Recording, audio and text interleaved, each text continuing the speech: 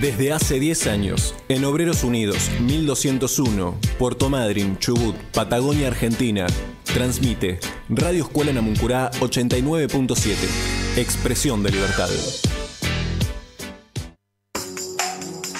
Bisagra. Informate con otra agenda.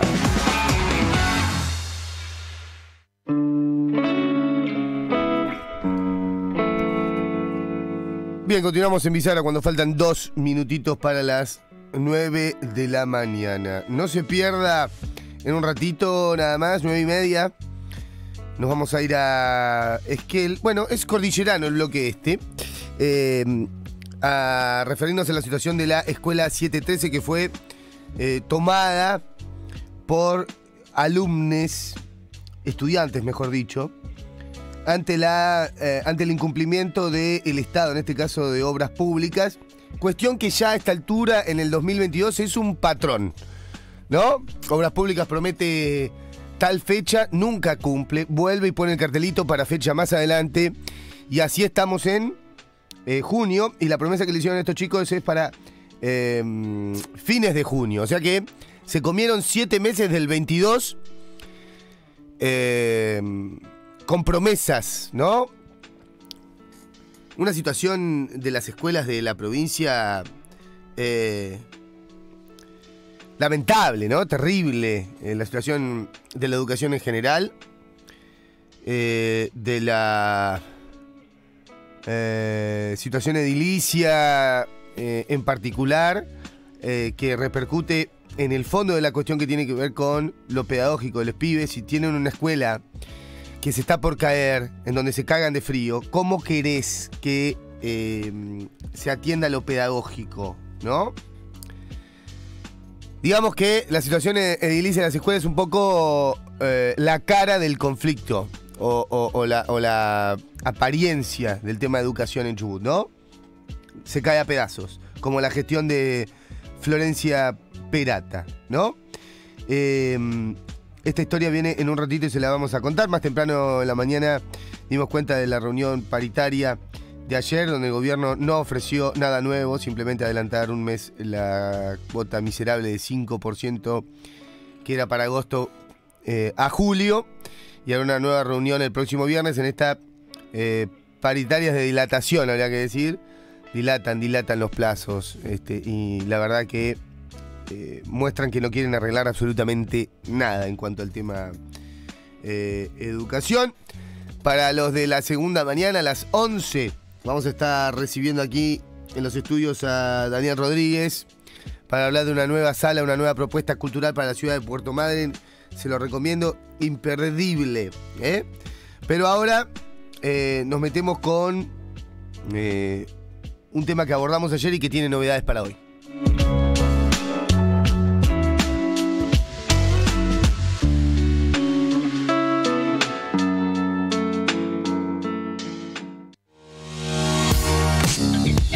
La actualidad sin vueltas. Cortito y al pie.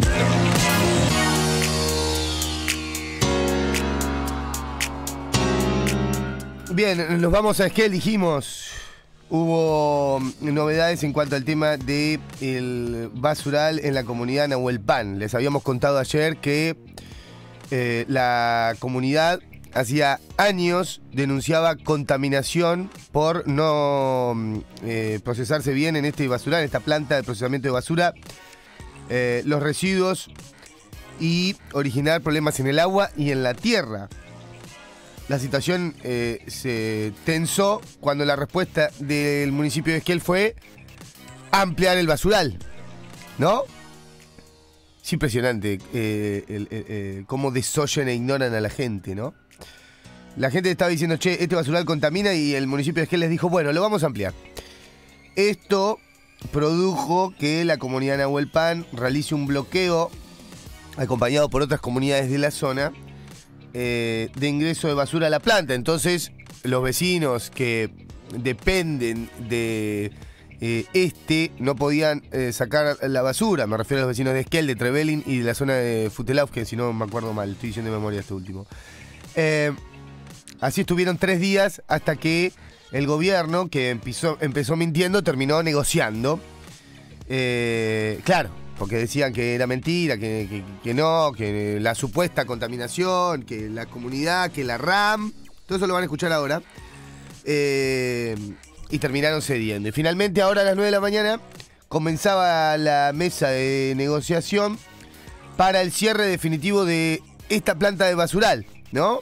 Lo cual es una gran noticia para la comunidad que lo venía reclamando hace años y una muestra de que tenían razón, evidentemente, ¿no? Eh, a, raíz de la novedad esta, ¿no? Del acuerdo, se levantó el bloqueo, así que ya desde ayer a la noche eh, estaba funcionando otra vez la recolección de residuos. Tenemos cuatro audios para compartir. El último de ellos es el más actual. eh, los anteriores tienen que ver con contar un poco la historia desde el principio. Arrancamos por la colega de la comarca, eh, colega en Revista Cítrica Gioia Claro, que en estos menos de tres minutos resume un poco la historia de la comunidad Nahuelpan. Bueno, la comunidad Nahuelpan eh, data de al menos en la zona desde 1908. Ese es el primer reconocimiento, ¿no? Producto de, la- de las campañas militares. Eh, allí se asentaron todas estas familias.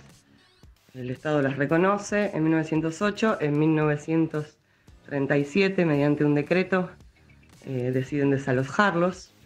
eh, y ahí les prenden fuego las casas, les sueltan los animales, los maltratan, lo mismo de siempre. Y quedan a la deriva. Algunos se van a, a la periferia, a los barrios incipientes de Esquel, otros se van para Lepa, para Vuelta del Río, para distintos lugares, eh, quedan peregrinando, buscando un nuevo hogar con lo puesto. Eh, muchos han muerto de tristeza, cuentan, ¿no? Eh, en 1937 el desalojo, en 1948 eh, el Estado les reconoce nuevamente y, a modo de disculpas les devuelve, pero una pequeña porción de ese territorio y solo a quienes acreditaran un linaje directo, eh, familiares directos del cacique Nahuelpan. Con lo cual quedaban un montón afuera y el espacio no, nunca fue apto para que volvieran todas esas familias, aparte fue muchos años después. Eh, en el loteo que se hace después del desalojo del 37, eh, se los dividen ahí entre los terratenientes y poderosos de Esquel, entre ellos el escribano Paggi, que es el familiar de esta periodista María Elena Paggi, que hoy les hace las zanjas y que les cierra el acceso. Eh, desde entonces, las familias de, de la comunidad eh, vienen sufriendo, por un lado, el avance de, estos privados que mediante sucesiones, intentando negociar con uno, con otro, con algún viejito que, que- que quedó solo o con alguien que se fue a la ciudad, eh, negociar la compra de estos territorios, compras por supuesto irregulares, ya que estamos hablando de territorio indígena que no se puede eh, regir bajo estas, bajo estas cuestiones de, sucesión o de propiedad individual, ¿no? Eh, y por otro lado, desde, 1900, eh, desde el 2009, se in- cuando se instala el, basural, desde entonces vienen sufriendo las consecuencias también del basural. Han quedado arrinconados. Bueno, ese es un poco el resumen de la historia de la comunidad de Nahuelpan desde que fue, eh, eh, digamos, reconocida en su primera eh, etapa en 1908 por el Estado Nacional hasta ayer, donde estaba negociando con el municipio de Esquel eh, por el tema del basural. Qué falta de respeto, ¿no? Incluso antes de que seamos constituidos como provincia, la comunidad ya estaba instalada ahí. Nosotros fuimos en Chubut constituidos eh, como provincia en el eh, 55, si no me acuerdo mal. Hablando de eso, hoy es una fecha muy eh, interesante para recuperar. Ahora lo vamos a hacer en un rato.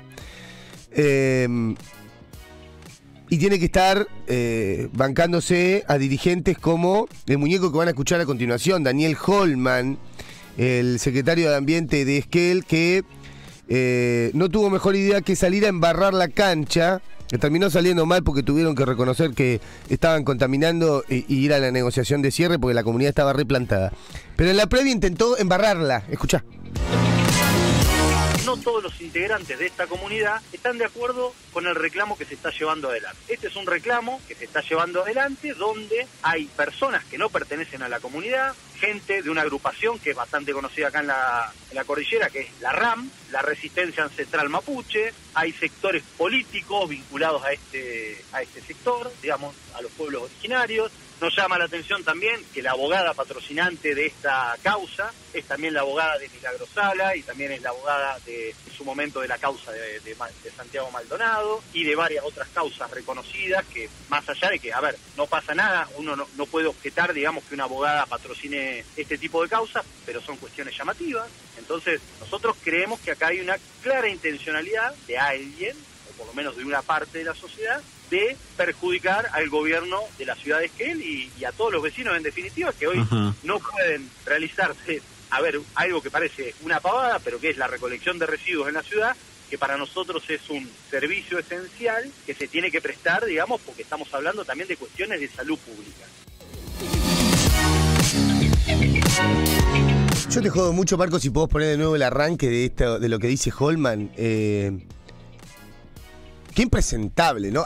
En, mi opinión, debería haber renunciado hoy. Después de decir esto, después de eh, eh, hacia donde torna el conflicto, ¿no? Que le, le termina eh, claramente dando la razón a la comunidad. Esto que dice es muy grave. Es un funcionario municipal, ¿no? Representante supuestamente de, de los vecinos y vecinas de Esquel. Y escuche lo que dice, tratando de embarrar, habla de la RAM, de contactos políticos, ¿no? ¿Quién tiene contacto político en las comunidades? Más allá que alguno puntual, qué sé yo, pero sin, tan más abandonados imposible, ¿no? Y el tipo tira eso y tira que la abogada también es la de Santiago Maldonado y Milagro Sala, como si eso fuera... Bueno, gobierna el PRO en Esquel, ¿no? Escuchá el principio.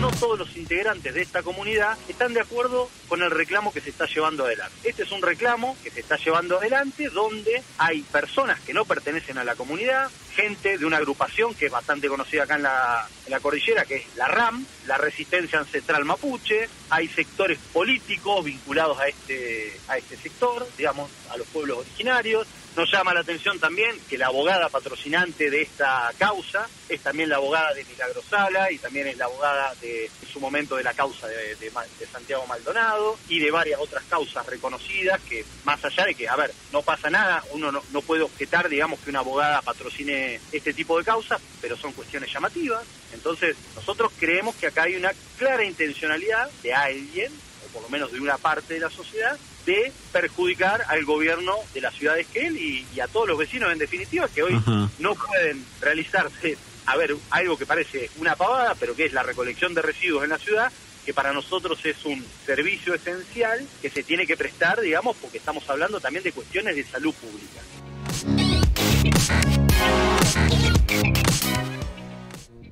Bueno, ese era Holman. Finalmente tuvieron que negociar y la planta parece que va camino a cerrar. O sea que tenía ra- razón la RAM, los contactos políticos, la abogada de la comunidad eh, que representó también a Milagro Sala y a Santiago Maldonado, ¿no?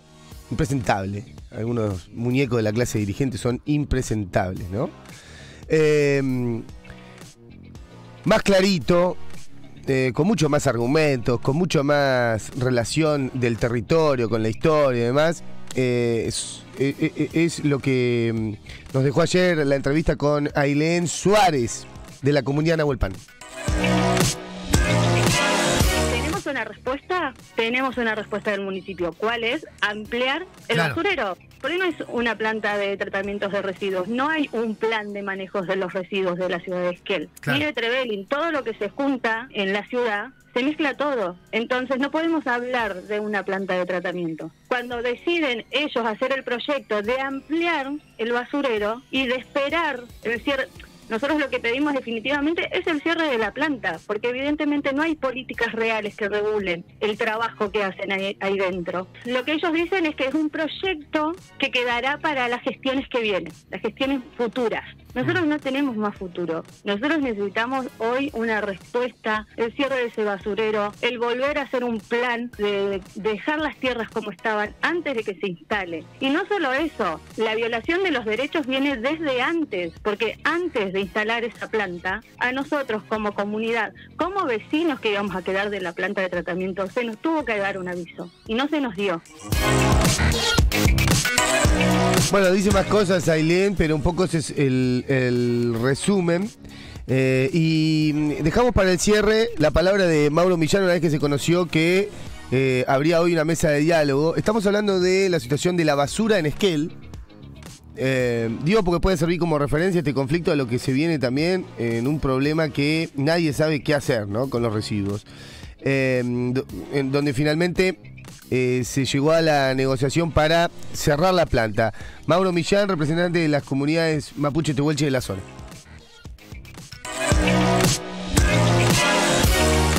Fachanto maita incala impu peñi pulangien fachi mapu. Cantu huehuafin.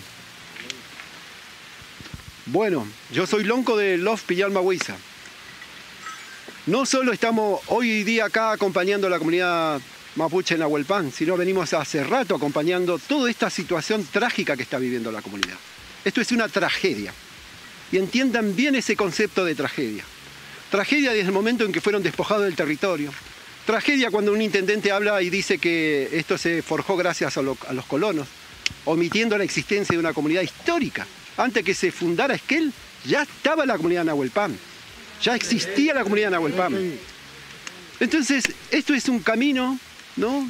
De tanta injusticia, una acumulación, así como está aquel cerro acumulado de basura, así podríamos acumular la injusticia que cometieron contra nuestro pueblo. Sin embargo, acá estamos. Miren, ¿por qué estamos acá? Para dialogar. Fíjense lo que tenemos que llegar a hacer para dialogar. Eso es tremendo. Por eso es una tragedia. La comunidad lo que está exigiendo para comenzar a transitar un camino de discusión y diálogo es que hoy día el ministro de la provincia selle, no solo con su palabra, sino también con su firma, que va a haber un proceso de cierre de ese basurero. Somos conscientes y no somos ingenuos de que se le tiene que poner hoy día un candado para que eso se cierre. Tiene que haber seguramente un proceso de, de- de- de- trabajo para que eso se concrete. Pero por otro lado también el intendente an- anuncia un nuevo módulo. Entonces de- decimos, bueno, esta tragedia está teñida ya por, por perversidad. ¿Cómo un nuevo módulo? Si ya está comprobado que los animales se mueren. ¿Saben qué dice la gente? Que cuando van a esquilar sale olor a podrido de la lana. Eso no es normal, o es normal. No es normal porque se están pudriendo en vida los animales. Significa que hay contaminación. Significa que cuando vino la Policía Federal e hicieron los análisis y arrojó que había metales pesados, hidrocarbur- hidrocarburos, ¿de dónde sale? A ver, preguntamos, ¿de dónde sale eso? Si la comunidad históricamente vivió acá